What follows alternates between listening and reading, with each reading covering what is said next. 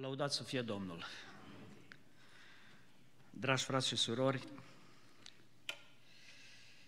salutul bisericii acolo unde slujesc, Biserica Betel din München, Iuda, versetul 2, îndurarea, pacea și dragostea să vă fie înmulțite. Domnul să vă binecuvinteze și să ne binecuvinteze pe toți. Au trecut tare mulți ani de când ultima dată am fost la dumneavoastră, cu ocazia unei invitații în zona Detroit, Chicago, am găsit o portiță și ieri după masă, adică la ieri de fapt, am ajuns uh, aici, în zonă, mai precis la sora mea, Lina și Petrica. Situația este cum este, dumneavoastră vedeți, dar psalmistul în 124, ceea ce s-a citit în seara aceasta, valabil pentru mine și pentru tine care ești sănătos în seara asta aici, dacă n-ar fi fost Domnul de partea ta și de partea mea, poate că eram acum cu perfuziile puse la mâini sau știu în altă parte, poate eram în comă sau poate nu mai eram,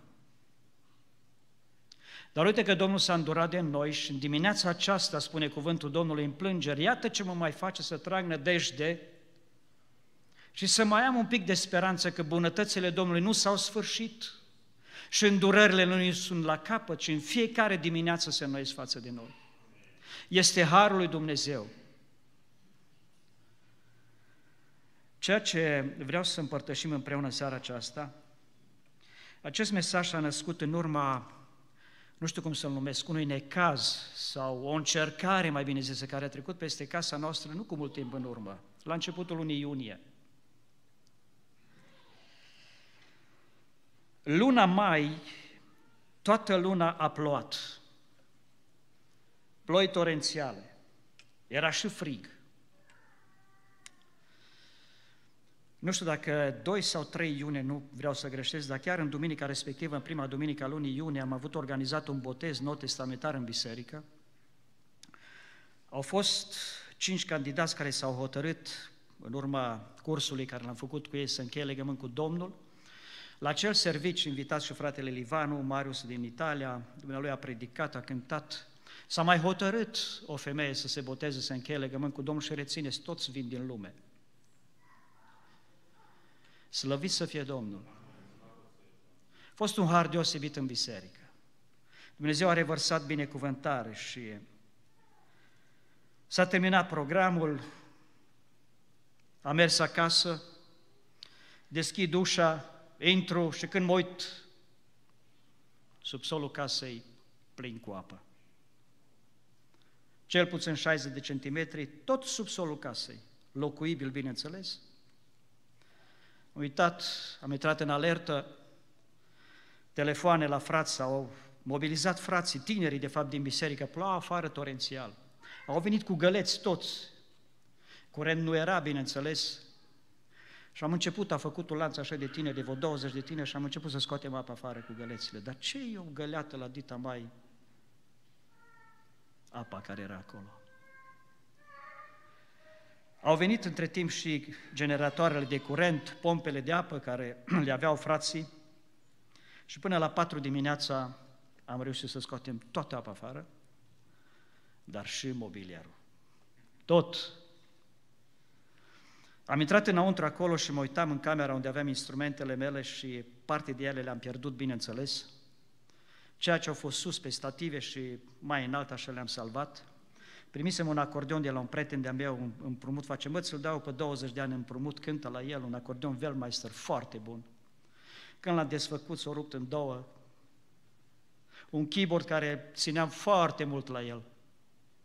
L-am pierdut. În fine, Știți ce? În toate astea, uh, un congelator mare plin cu carne plutea așa pe apă, deci l-a răsturnat apa și zic către Dana, bă, Dana, parcă e Titanic, așa plutește ăsta până... Am văzut dragostea lui Dumnezeu uh, arătată în frații mei din biserică. Noi citim psalm și zicem, când strigă un nenorocit, Domnul aude și îl scapă din toate necazurile lui. Cum? Prin mobilizare care au făcut-o. Ne-au adus de mâncare, curent nu era bine înțeles. Patru zile n-am putut să mănânc nimic. N-am putut, nici nu mi-era foame. foame. Au început să-mi vină cămășile care nu mai le încăpeam. Le-am zis la fras, băi, bun și câte un necaz de asta din când în când, că de bună voie nu reușim să dăm jos, dar uite că... Și în tot necazul ăsta și în toată încercarea asta, știți ce vorbeam cu Dana, cu soția mea și am zis? Ne-am păstrat calmul și ne-am păstrat liniștea, că foarte ușor explodează, tu ești de vină din cauza ta și așa mai departe. Și ne-am păstrat calmul și am văzut și în asta mâna Domnului. Slăvit să fie Domnul. Și am să vă citesc în seara asta un verset și o să vă dați seama imediat despre cine e vorba. Pentru că ce am pierdut eu e zero. Sau poate ce ați pierdut dumneavoastră, sau poate ce veți pierde dumneavoastră, e zero. Nu știu dacă nu vă este prea greu, vă rog să stați ridicați. Este cuvântul Domnului care vreau să-l citesc și mă gândesc că bănuiți acum despre cine câteva gânduri. Pagina Biblie 521, traducerea Cornilescu, cartea lui Iov. Citesc primul verset și apoi din versetul 8, prima parte. Era în țara Uț un om care se numea Iov și omul acesta era fără prihană și curat la suflet. El se temea de Dumnezeu și se abătea de la rău. Versetul 8, prima parte. Domnul a zis satanei, ai văzut pe robul meu Iov? Vă rog să vă reașezați.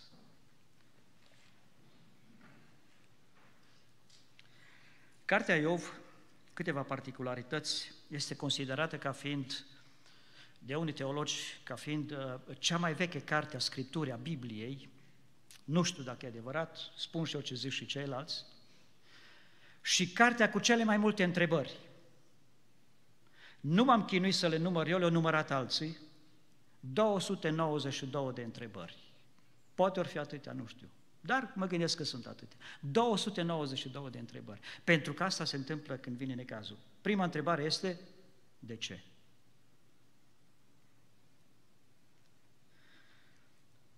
Suferință, frământările în suferință și credincioșia. Trei piloni de bază în cartea lui Iov. Un om cu caracter aparte, despre care Dumnezeu spune clar despre el. Fără prihană, curat la suflet, temător de Dumnezeu care se abate de la rău. Și totuși, totuși, parcă Dumnezeu, cum spunea cineva, uh, joacă cu diavolul Lazarul sau uh, pune pariu pe el, pe Iov. Ai văzut pe robul meu eu, Iov. Păi sigur că te slujește, că i-ai dat. Are de aia și are și de altă și sigur că te slujește.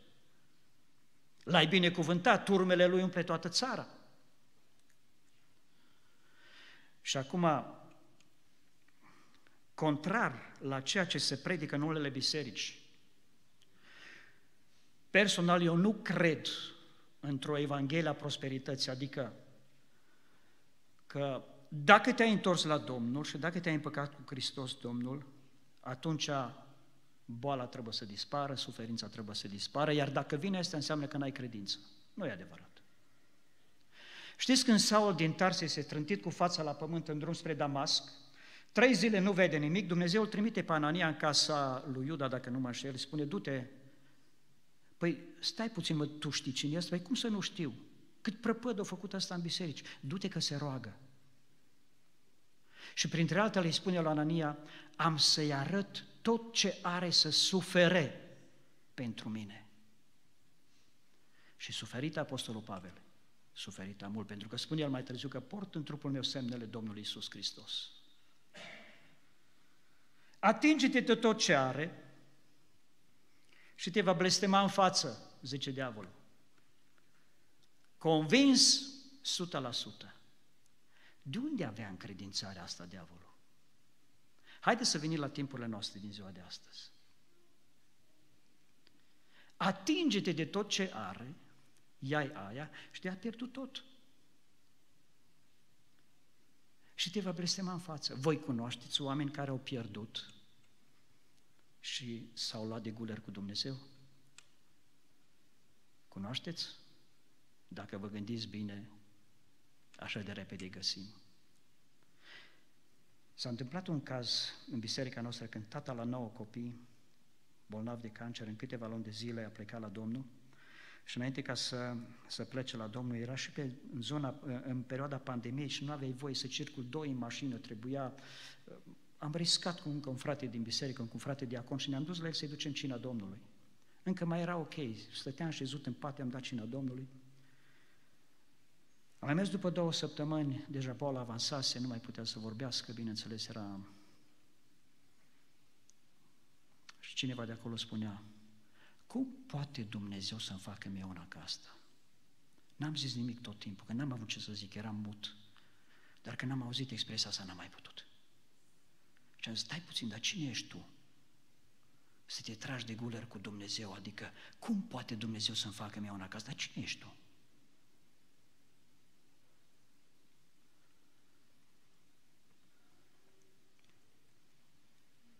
Avere și copii, familia, s-a dus.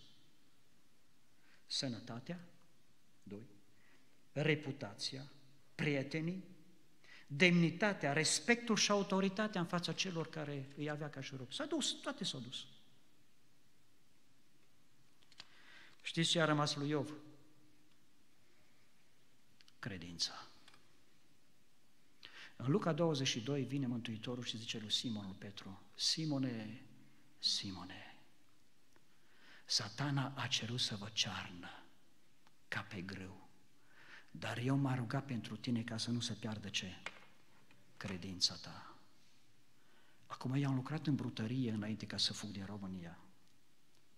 Din 86 până prin 88 am lucrat la o brutărie. Vreo trei luni de zile am lucrat în producție și după aceea pe mașina de pâine la livrare. Dar știam toată tehnica care era acolo pe vremuri. Aia era pita adevărată, nu ce mâncăm noi astăzi. Nu greu să cerne, frați și surori. Ce să cerne? Făina. Și atunci greu ca să ajungă făină trebuie? Trebuie zdrobit. Trebuie zdrobit. M-a rugat pentru tine ca să nu se piardă credința. În, în numeri capitolul 21 se întâmplă ceva, lucru care ne poate caracteriza și pe noi. Poporul lui Israel iese din Egipt, dar până să ajungă la număr, în numeri capitolul 21, um, deschid o paranteză și ceea ce se citise în seara asta din Psalmul 124, că dacă n-ar fi fost Domnul de partea noastră, ne-ar fi înghițit apele de vii. Vă rog să vă imaginați puțin și pe bună dreptate. Poporul Israel iese din Egipt, spune cuvântul Domnului că ziua erau conduși de un stâlp de foc și noaptea printr-un stâlp, un stâlp de fumă, scuzați, și noaptea printr-un stâlp de foc. Ajung în fața Mării Roșii. Să uită cât văd cu ochii Marea Roșie. În spate, faraon, carele, gălăgie, săbi, suliți. Moise se duce și întreabă pe Domnul Dumnezeu, îi vorbește, poporul intră în panică și vorbesc împotriva lui Moise, ne-ai adus aici să murim, nu mai bine să tem acolo. Și zice Dumnezeu, ce înseamnă gălăgia asta? Ce înseamnă gălăgia asta? Păi nu v-am promis eu că vă scot și vă duc într-o țară unde curge lapte și miere? Dar ce cu gălăgia asta? Și acum vorbind fiind, vorba fiind așa, dacă aș fi fost eu acolo sau dacă ai fi fost tu acolo, cum ai fi procedat? Ai fi stat așa cu mâinile în sân, a, mă bazez pe promisiunile Domnului. Intram puțin într-o stare de alertă. Dar știi ce zice Dumnezeu? Spune poporului să stea liniștit, că Domnul se va lupta pentru ei. Slăvi să fie Domnul. În număr 21, spune cuvântul Domnului că tot acest popor pentru care Dumnezeu a zis la un moment dat că m-am săturat, îi nimicesc și intervine Moise ca și mijlocitor. Zice cuvântul Domnului, auziți, 21, versetul 4. Au plecat de la muntele Hor pe drumul care duce spre Marea Roșie ca să ocolească țara Edomului și, atenție, poporul și-a pierdut răbdarea pierdut pe drum. 1. A vorbit împotriva lui Dumnezeu și împotriva lui Moise. pentru ce ne-a scos din țara Egiptului și așa mai departe. Își pierde răbdarea, poporul, își pierd bunul simț, pentru că au vorbit împotriva lui Dumnezeu și împotriva lui Moise.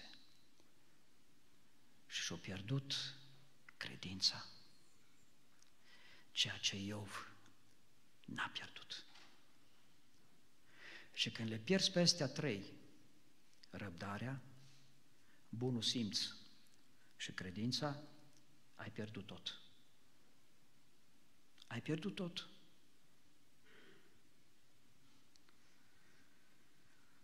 Vin trei oameni la Iov, chiar patru. Șapte zile, șapte nopți, niciunul nu zice nimic, ci stau și se uită la el. Stau și privesc unul către celălalt. Spuneam fraților mei din München, tare bine ar fi ca unii dintre noi să procedeze așa. Măcar tași din gură. Nu auzi nimic. Pentru că am ajuns la concluzia că suntem specialiști când este vorba despre altul, să dăm sentințe sau verdicte când este vorba despre altul, când este vorba despre copiii altuia, știm noi să creștem mai bine. Și după zilele astea încep să vorbească unul după altul. Se pare că unul dintre ei era mai tânăr, Elihu, cu numele de Elihu, pentru că în capitolul 32 începe să vorbească el. Și zice la un moment dat, versetul 7, Eu îmi ziceam să vorbească bătrânețea, marele număr de ani să învețe pe alții înțelepciunea, dar de fapt în om Duhul, suflarea celui atotputernic dă pricepere.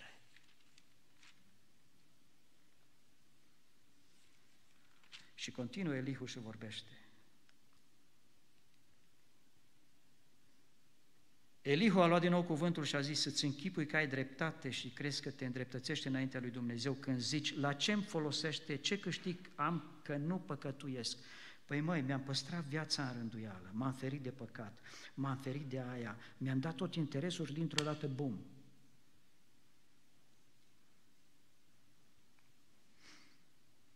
Și atunci imediat poate să naște ideea, păi de la ce folos? Cum îmi spunea cineva în biserică, frate, de când m-am pocăit, parcă s-au mulțit, parcă s-au dublat necazurile. Și am zis, stai puțin, dar Dumnezeu nu ne-a promis, Dumnezeu, că știți cântarea care zice că ce încer pe flori nu poți fi dus. Așa ca pe un covor de-a lui Aladin. Știți cine a fost Aladin ăla cu lampa aia când nu se putește așa frumos și dintr-o dată să te trezești în împărăția lui Dumnezeu. Nu. Domnul Iisus a zis clar, în lume veți avea necazuri, dar Îndrăsniți, eu am biruit lumea, a zis Iisus. Dacă păcătuiești, ce rău îi faci lui? Și când păcatele ți se înmulțesc, ce îi faci lui? Dacă ești drept, ce îi dai lui? Ce primește el din mâna ta? Și auzi ce frumos încheie Elihu. Măcar că zici că nu-l vezi, măcar că zici că nu-l vezi. Nu uita, pricina ta este înaintea lui. Așteaptă-l. Măcar că zici că nu-l vezi, pricina mea, pricina ta este înaintea lui. Așteaptă-l. Ieremia zice la un moment dat, bine este să aștepți în tăcere ajutorul Domnului. Domnul să ne binecuvinteze, dragilor. Domnul să ne binecuvinteze să știm cum să ne raportăm. Știți de ce? Pentru că am învățat un lucru, nu numai unul, mai multe. Pentru că Dumnezeu nu îngăduie numai așa câte o încercare, câte un necaz în viața noastră, numai ca să ne vadă cum... Nu, noi trebuie să învățăm ceva de acolo. Ce vrea Dumnezeu să învăț eu din toată situația asta? Ce vrea Dumnezeu să învăț? Dacă ai avut parte numai de zile fericite până acum și de binecuvântări, Domnul ți le-a dat. Recunoaște lucrul ăsta. Deuteronom, capitolul 8, zice la un moment dat, când vei mânca și te vei sătura, Nu cumva să zici că mușchii mei, că eu cu puterile mele, că eu prin înțelepciunea mea mi-am câștigat asta. Nu! Domnul mi le-a dat. Știți ce au făcut doi? Au venit și în număr 12, frații lui Moise, Aron și Maria. Ce? Ci că din pricina femeii etiopiance, dar nu e adevărat, adică nu e adevărat, ăsta a fost pretextul de fapt, dar ei tindeau la poziția lui Moise. Și că au început să vorbească împotriva lui Moise din pricina femeii etiopiance, că era brunetă, nu să nu zicem alte, că după aceea ești, uh, nu ești politic corect. Nu. Și au început să vorbească împotriva și zice, dar numai prin Moise vorbește Domnul, dar prin noi nu? Și zice că Domnul a auzit-o, că vorbea unde? În biserică, în cort. Și s-a prezentat Dumnezeu la ei și, mă, nu vi rușine. Păi cum vorbiți voi împotriva robului meu așa, că eu vorbesc cu el gură către gură? Și zice cuvântul Domnului că Dumnezeu a plecat din cort. Din cauza la câți? Nu știu că suntem aici, poate, hai să zicem 100. Îi destui doi ca Dumnezeu să plece din adunare. Îi destui doi să vorbească ce nu trebuie vorbit. Și spune cuvântul Domnului că în secunda următoare, când se uită Maria, plină de lepră. Aron fuge repede la Moise, zice, Moise, hai că e problemă, mijlocește pentru ea, ca Dumnezeu să o vindece. O să spun, frate, că eu mai lăsam votrizele. Măcar să simt un pic așa. Știți ce face Moise? Extraordinar. Pe loc, în același moment, ce Dumnezeule vindecă-o. Și a vindecat-o Dumnezeu pe loc. Dumnezeu să ne dea pricepere și înțelepciune. Înțelepciune și pricepere sunt două lucruri care lucrează mână-mână. Că atunci când va veni necazul, încercarea, nu uitați că Dumnezeu tot acolo este sus în cer, El face tot ce vrea. Este la cârmă și face tot ce vrea. Poate câteodată uh, prinde aripi așa, sau știu eu, ne luăm nasul la purtare și atunci nu are Dumnezeu altă metodă decât numai câte o, așa, câte o jordiță, știu eu, ca să înțelegem că încă mai suntem pe pământ și că mai avem frați și surori. Psalmistul în 127, dacă dați numai o pagină de la 124, Solomon spune Degeaba păzește o casă dacă Domnul nu o păzește. Degeaba lucrezi dacă nu lucrezi cu El. Totul e degeaba. Și zice mai jos, că degeaba te trezești dimineață și te duci și alergi și faci. Că și preiubiților lui el le dă pâinea, atenție mare, nu le-o dă dormind. Nu le-o dă dormind să doarmă până la 11, la 12, să trezească și dintr-o dată când deschide frigiderul e plin, nu. Le dă pâinea ca în somn. Adică, îi mulțumesc Domnului pentru serviciul care l-am, asta e în dreptul meu, nu câștig pâinea cea de toate zilele acolo, mulțumesc Domnului și mulțumesc Domnului că tot timpul s-a îndurat și ori de câte ori ne-am rugat, pâinea noastră cea de toate zilele, dă-ne nouă astăzi. A fost credincios. Știți ceva? Ne-a dat-o ieri pâinea cea de toate zilele. V-a dat-o? V-a dat-o și astăzi? Ori ne-a dat-o și mâine? Slăvească se numele Lui în veci. Dumnezeu este credincios. Fiți binecuvântați de Domnul. Și nu uitați, atunci când trecem, spune cuvântul Domnului într-un psalm, că când străbat aceștia valea plângerii, nu stau pe loc acolo, nu se Când străbat aceștia valea plângerii, o prefac într-un loc plin de izvoare și ploaia timpurie acoperă cu binecuvântări. Ei merg din putere în putere și se înfățișează înaintea lui Dumnezeu în Sion. Voi binecuvânta pe Domnul în orice vreme 34 psalm. Despre ce vreme? Despre ploaie, despre soare? Nu. Lauda lui va fi totdeauna în gura mea. Ei, cum ar vrea diavolul să-ți închidă gura? printr-un necas, printr-o încercare. Voi lauda pe Domnul cât voi trăi. Gustați și vedeți ce bun este Domnul. Eu am căutat pe Domnul și mi-a răspuns, m-a izbăvit, m-a izbăvit din toate temerile mele. Când strigă un nenorocit, Domnul aude și scapă din toate necazurile lui. Puii de lei duc lipsă și li foame, dar cei, se, cei ce se încred în Domnul nu duc lipsă de niciun bine. Și aici când spune de niciun bine, haideți să lăsăm și ceea ce cântăm. Doamne, îți mulțumesc pentru binecuvântări și pentru încercări.